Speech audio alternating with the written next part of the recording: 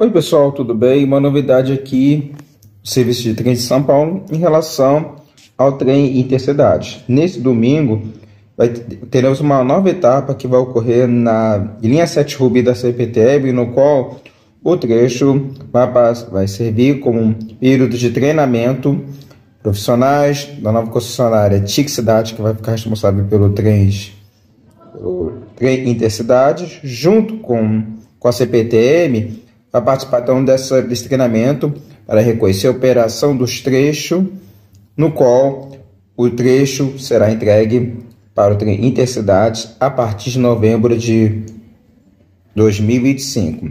Mesmo após essa entrega, então, você ainda vai ter participação de pessoas da CPTM nos primeiros seis meses para preparar essa transição do serviço da CPTM para a concessionária Chique, que é Chique Trens que vai assumir então o serviço de trem intercidades.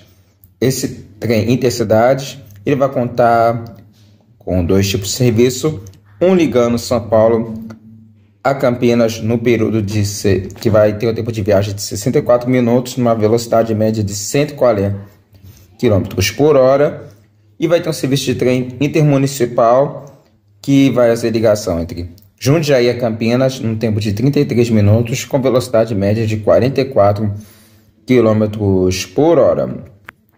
Recentemente chegou a falar sobre a frota de trens que vai operar nesse trecho. Com isso, então, vai ser mais um trecho que a CPTM deixará de operar em breve para ser entregue à iniciativa privada. O governo de São Paulo vem discutindo nesses últimos períodos da possibilidade do de acabar com a CPTM em todos os três, três metropolitanos de São Paulo. No caso da linha 7, então, vai ser entregue então para a concessionária TIC 3. Em breve pode ocorrer com as linhas 11 e 12. Eu só ainda não tenho informação de como ficará a situação da linha 10. A linha 8 e 9 já foi entregue à Via Mobilidade do grupo CCR. Então é isso uma das etapas importantes para o treinamento dos profissionais, até para reconhecer o trecho, para que possa oferecer segurança, conforto para um serviço de qualidade.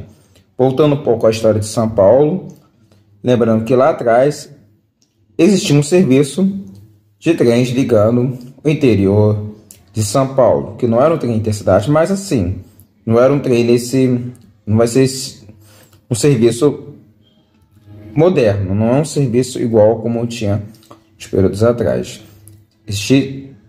Isso passou participação de outras empresas ferroviárias que esteve presente em São Paulo antes mesmo da CPTM. Então é isso.